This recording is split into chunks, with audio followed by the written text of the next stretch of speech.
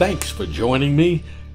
This lecture topic is entitled Good Practices with JMeter. Let's start with version management. There are several things I want to mention regarding the concept of JMeter version management. JMeter itself is under version control, and some of its components can be stored in a version control system like Git, GIT, or Mercurial, and there are others. When it is when it comes to managing the release of JMeter inside the IDE under the Help menu, you can see the current version of JMeter by selecting the About Apache JMeter option.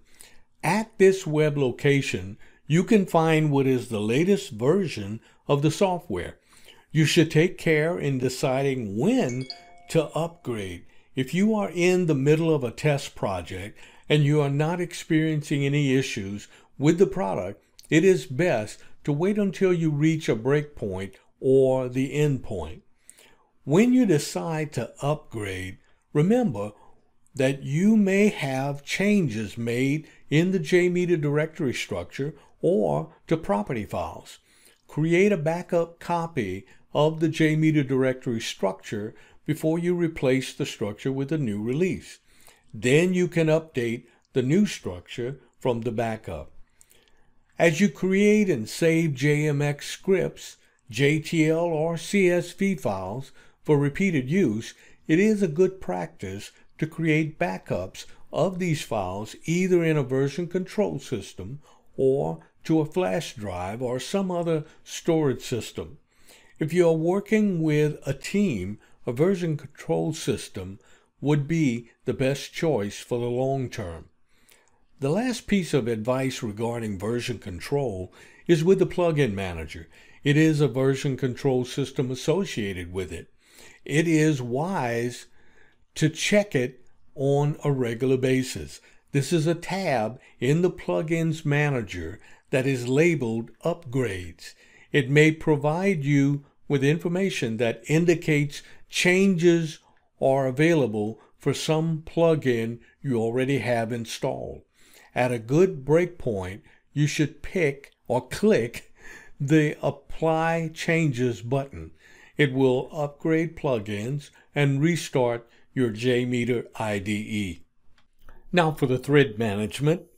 Except for the original thread group, all the other thread groups come through the plugin manager. So if there are updates to those thread groups, before you apply the changes, you may want to follow up by checking what the changes are in case they reflect changes that affect some script you have in use. There might be some additional post upgrade actions you will need to do as follow up. And for cookie management, your JMeter scripts should always contain an HTTP cookie manager element. This ensures cookies will be passed in the HTTP response headers.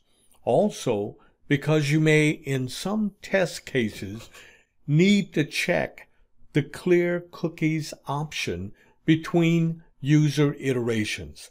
This is one of the elements that you do not have to think about when you use the templates in creating a new script. Another point for good practice is authorization management.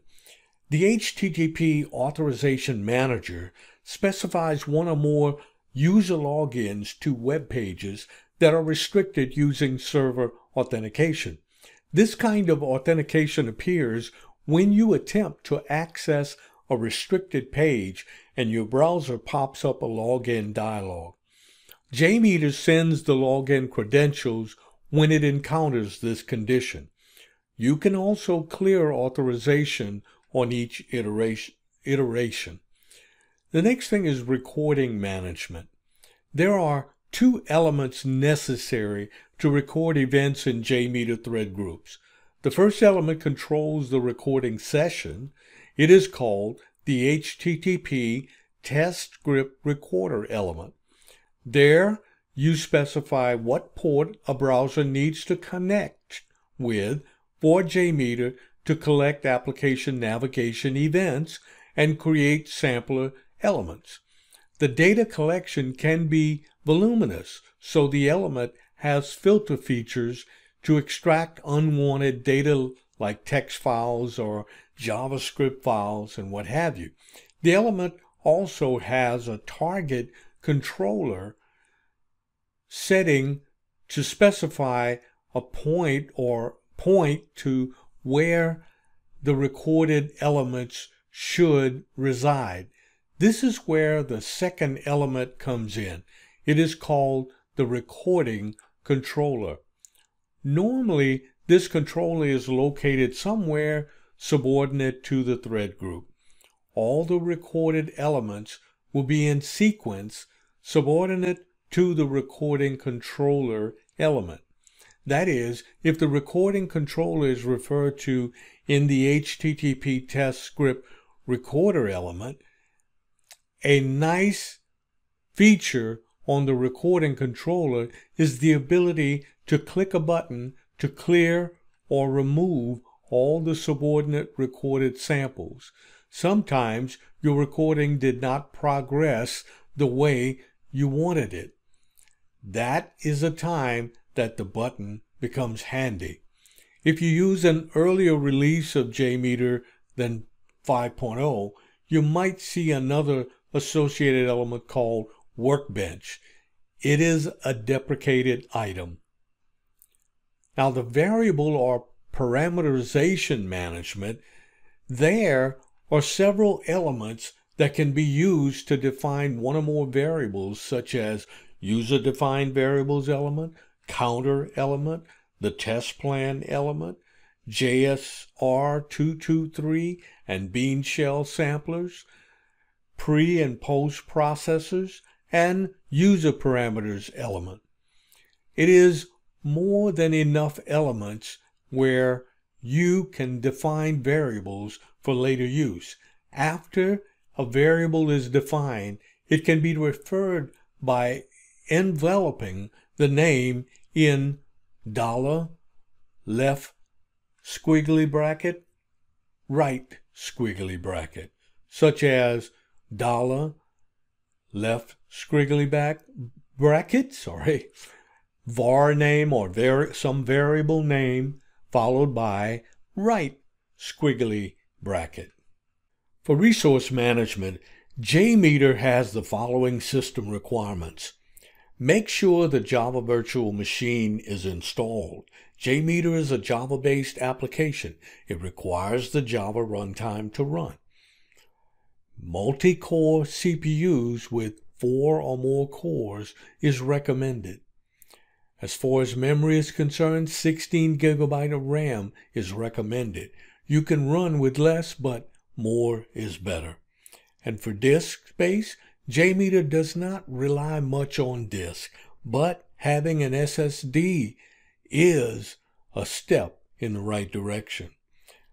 The minimal configuration should be at least 512 kilobytes per thread plus around 100 megabytes for JMeter to operate, which gives around 100 megabytes of RAM and then add 0.5 megabytes per planned thread count.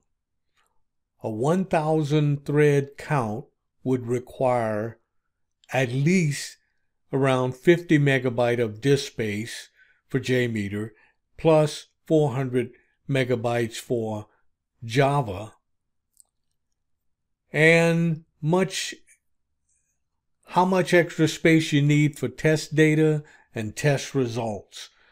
That's not a solid number there. I don't have good information on that one. My personal thought is those numbers might be a little low based on my experiences. I would plan on allocating one gigabyte to heap memory for every 1000 threads or use the concurrency planned for testing. Now for reusable code management, the Bean Shell and the JSR223 processors are the primary elements used for adding code processing either before or after an event. The language now acceptable is known as Groovy for the JSR223 processor. JavaScript or Java is the default for the Bean Shell processor. When you are developing scripts of a low concurrency load, JMeter's JavaScript or Bean Shell engines provide decent performance. But if the script uses hundreds of threads, the JSR223 Groovy engine performs much better with less overhead. This means that JMeter will execute the Groovy script faster, resulting in minimal response time impact. My time has ended for this session. I thank you for yours. Join me in the next video.